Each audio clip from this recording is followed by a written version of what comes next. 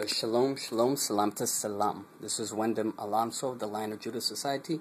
Now we about to go into this like very briefly, but before we start, for the record, we really don't care to defend this character or that character. It makes no difference in our lives. I and I is in in Hamashiach, Yeshua, in light of Qedamawi, Chad Selassie, so it makes no difference. But we do, like Moses, we interfere and we set things straight because um, sometimes uh, ones aren't capable of doing that for themselves. So we're not defending him. It's not to say we like him. We don't really care. We don't hate him.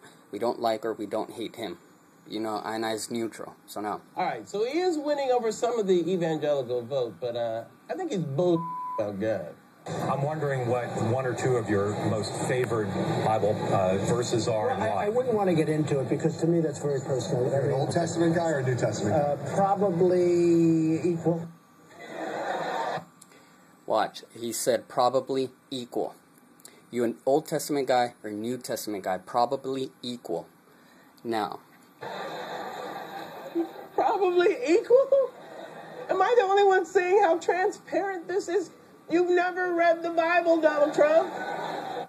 Well, it doesn't matter who has read the Bible because what he said is right. Donald Trump said the right answer. I mean, I, I know that he's probably not into the Bible, but it really doesn't matter. The answer is correct. Now, this is what God has to say about that. His Imperial Majesty Haile Selassie first. Long time discussing.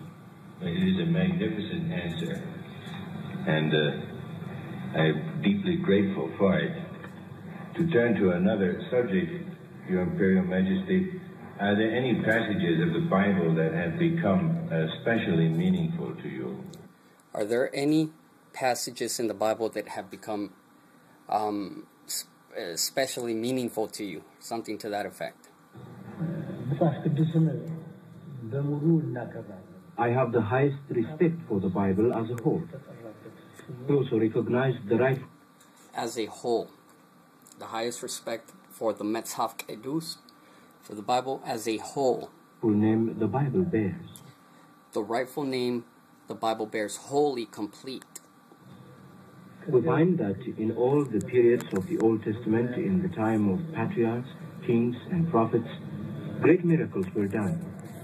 On the other hand, the New Testament, in which our Lord Himself gave the command to go to all the world and to preach, is also of high value. Then Matthew, Mark, Luke, and John, the four Gospels, in which the sayings of our Lord are recorded, are pillars for all men on the earth. Therefore, the Bible should not be cut into portions. Therefore, the Bible should not be cut into portions.